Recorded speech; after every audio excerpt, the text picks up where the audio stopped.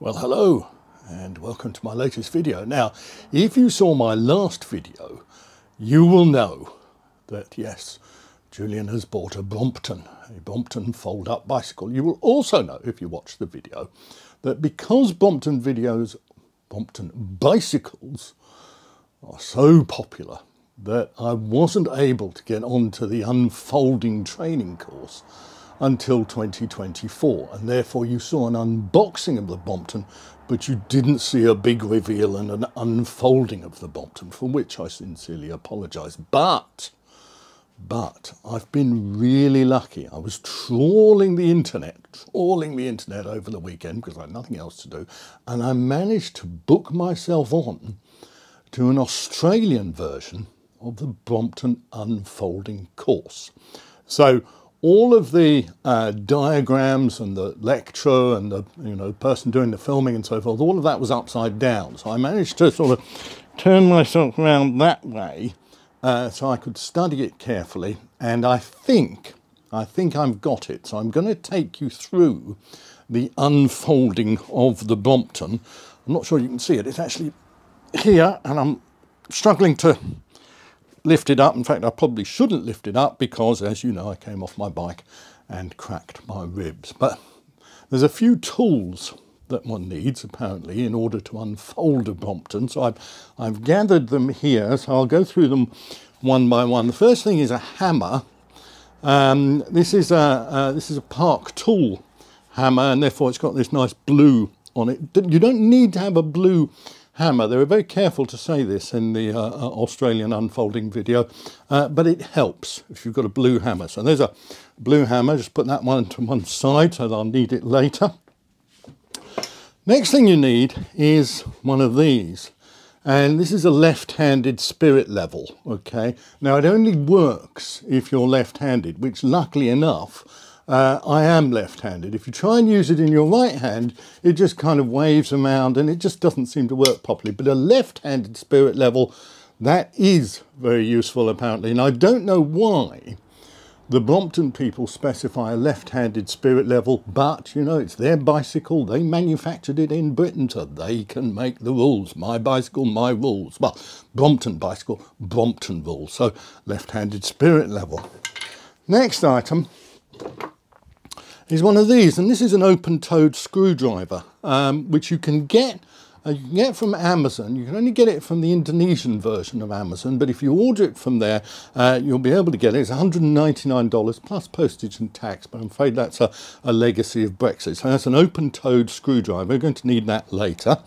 Uh, moving on swiftly with the tools, I hope you're making a note of these. Uh, this is a girdle tightener. Now, uh, if you are the, the, sort of person who wears a girdle, uh, and if you're not the sort of person who wears a girdle, I suggest you do wear a girdle because apparently it's important uh, when you're doing the unfolding of the Brompton. So there's a girdle tightener. I managed to have one of these already, and you may have one of these in your in your toolbox, or your, your spouse or your better half may have one. But if you look around the house, I'm sure you'll be able to come across. Perhaps ask one of your, your grandparents, a maiden aunt, perhaps an old teacher or a priest perhaps, uh, they may well have uh, a girdle tightener in their box as well. So I'm really getting to the end and this is, this is a standard tool that you're probably all familiar with, and this is a torque wrench. Okay, now this is a special, well, it's not really a special version, um, but it's a version of a torque wrench that you can talk to. So you can say to it, uh, good morning, torque wrench, and it will say, uh, good morning, Mr. Hutchings. And you could say, how are you feeling today? And it will say, actually, I'm feeling fine, Mr. Hutchings. So it's a torque, it's a torque wrench, speaking wrench, a bit like speaking clock or talking clock. So a torque wrench, and this has got, it's got a bit on it. I'm not sure what the bit is, but apparently the bit is something you're going to need uh, when you're unfolding the Brompton. So we're going to put that to one side. And now uh, the unfolding of the Brompton uh, uh has to be done uh, outside. I don't know if you've got a Brompton or if you're thinking of getting a Brompton, but you cannot unfold uh, and, and therefore fold up a Brompton in the house. There is a special chip embedded uh, in the Brompton that says it can't be done in the house. It's very much an open air job, so we're going to be moving, we're going to be moving outside now, we're going to be moving outside of the garage uh, into the open air, into my garden actually, where I'm going to attempt uh, to follow the, what I can remember at least of the upside down Australian instructions for unfolding a Brompton. So come with me and be prepared.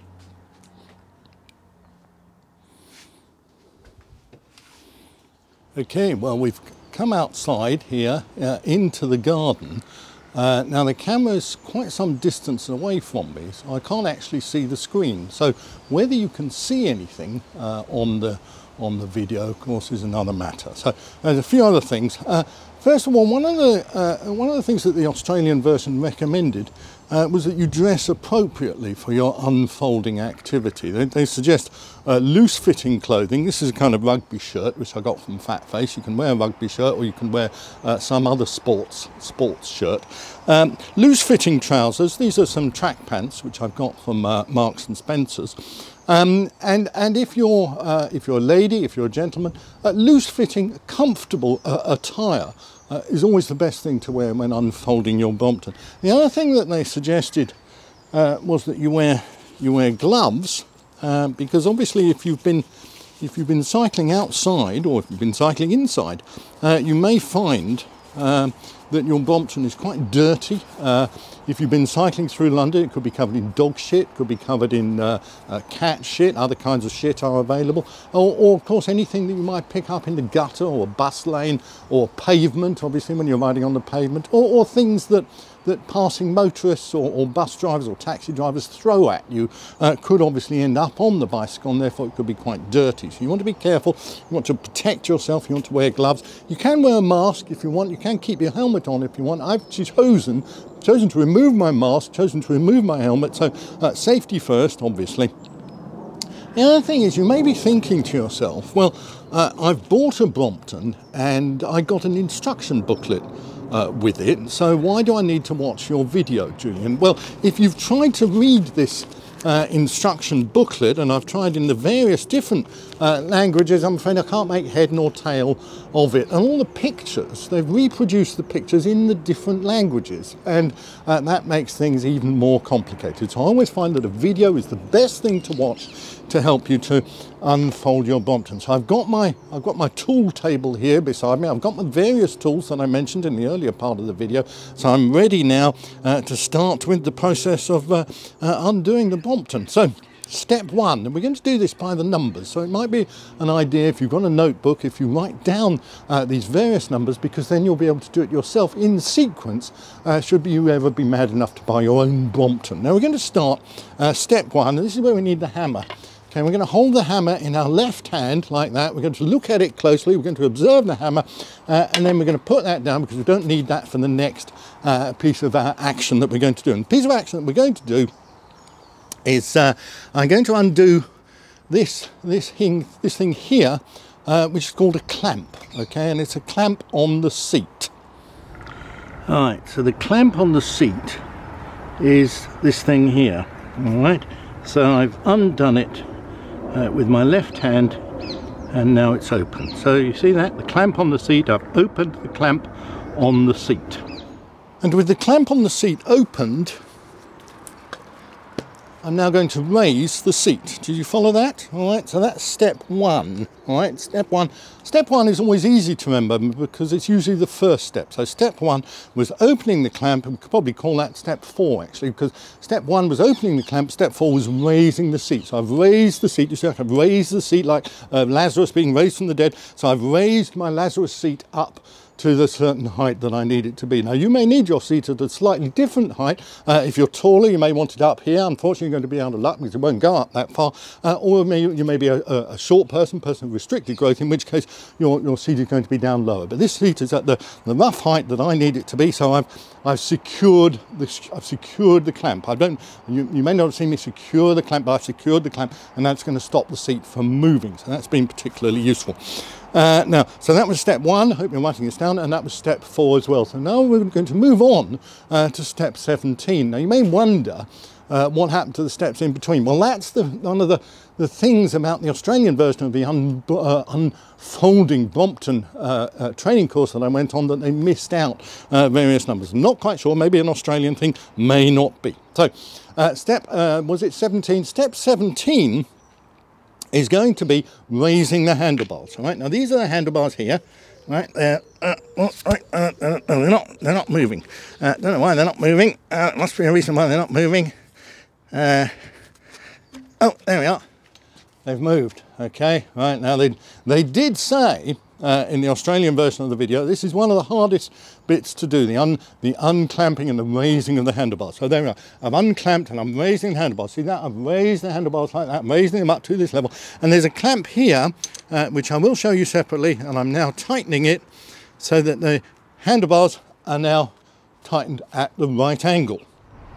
Right, this was the clamp that you saw me tighten up and I'll just move closer to it so you can see. There I'm untightening it and now I'm tightening it up again. You see what I mean? I've, I've tightened the clamp on the uh, stem and if we rise up there we can see the handlebars.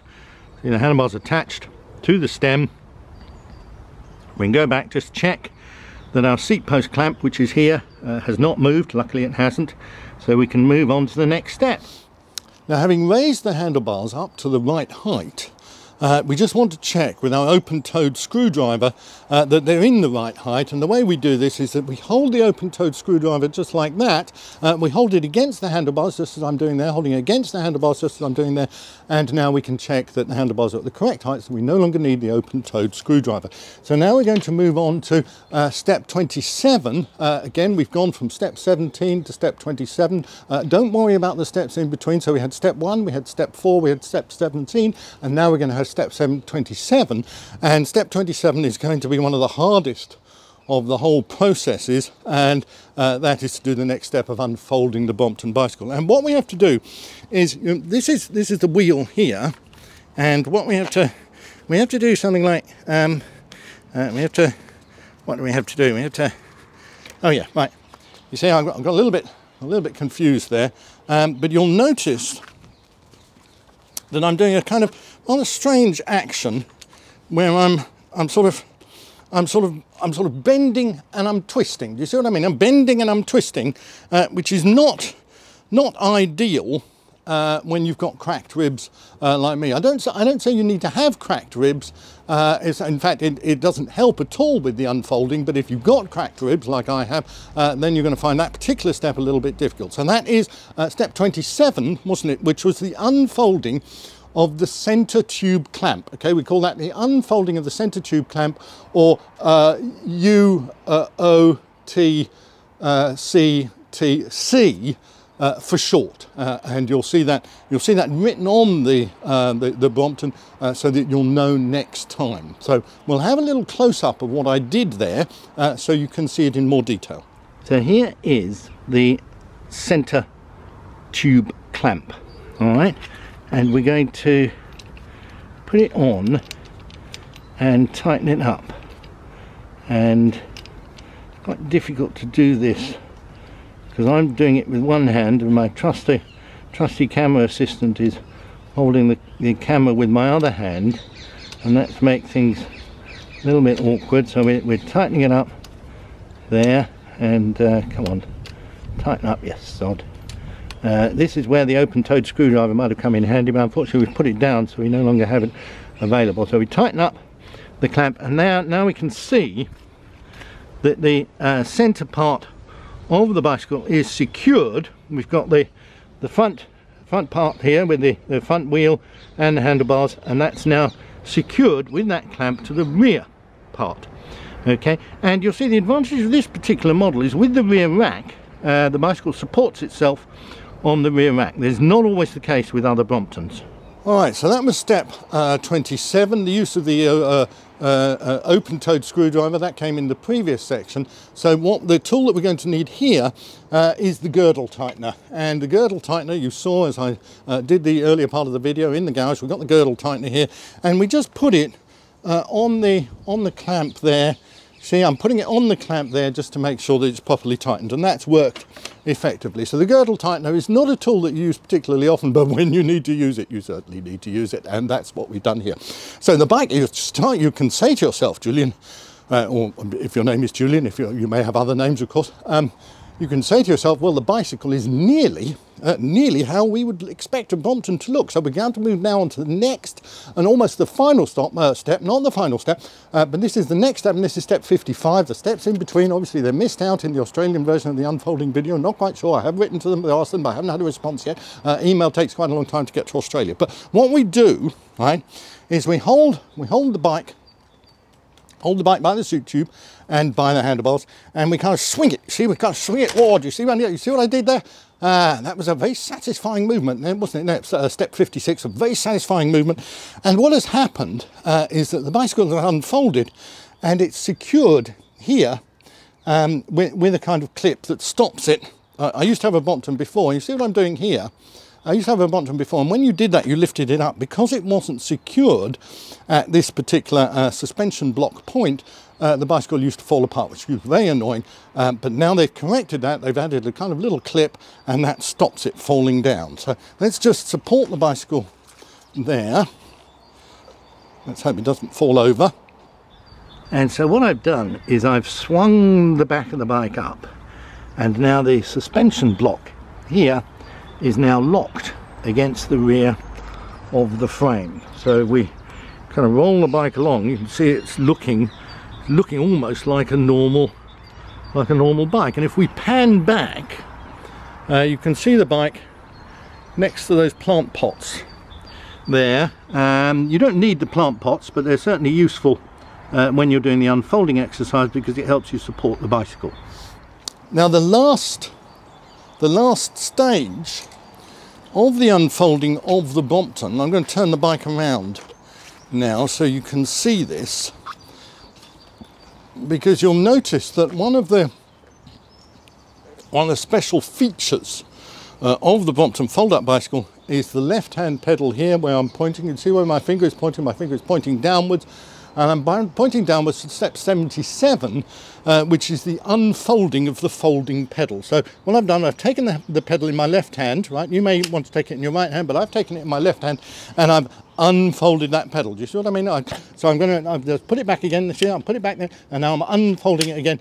And now, there we are, the uh, unfolding of the Brompton uh, is complete. Now, uh, I appreciate this video has taken place in real time and therefore it's taken uh, three and a half hours and almost two days uh, to film it. But at the end of the day, uh, we have an unfolding uh, Brompton, an unfolded Brompton according to the Australian version of the Brompton Unfolding Training Program. So, I uh, hope you've enjoyed this video. There may be another video about how to fold it up again, but I'm going to need to get on another training course in order to do that, so I'm not sure when that's going to be. I'll surf the internet and see if I can find something. In the meantime, uh, if you like my videos, please like my videos. Uh, please subscribe. Please give me a thumbs up.